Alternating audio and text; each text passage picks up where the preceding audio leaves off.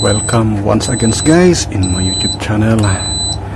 Today I'm going to answer the question of animated man and the question is how to fix CA alarm of Dixell and as I promised to him that I'm going to answer that with my next upload. So here is it guys. Let's proceed to the parameter i1f and here is it guys. Okay.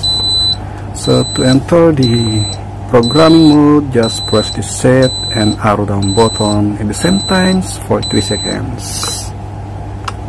Okay again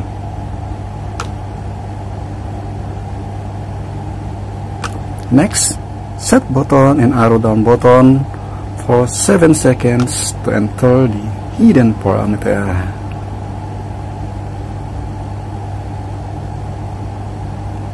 Next is we gonna locate the i1f parameter.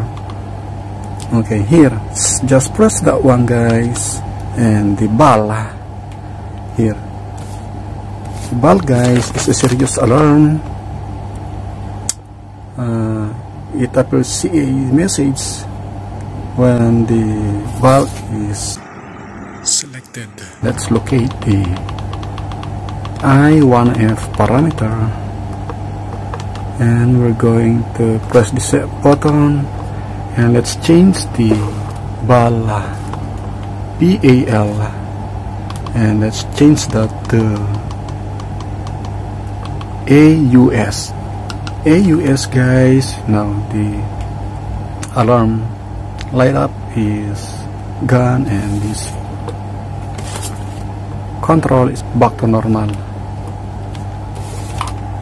So all you have to do is reset the control and on again.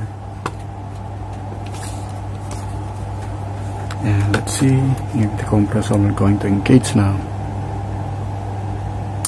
okay it's engaged and that's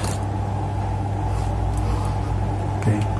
Compressor is located in the terminal number 5 so 1 2 3 4 5 is here. My testman light up meaning that the output relay is now engaged for the line of compressor.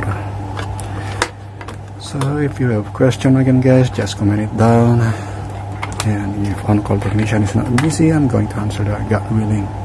And if you wish to follow me guys please click subscribe button and notification bell so you'll be updated just in case I have a new upload video. Thank you for watching and subscribing. Good day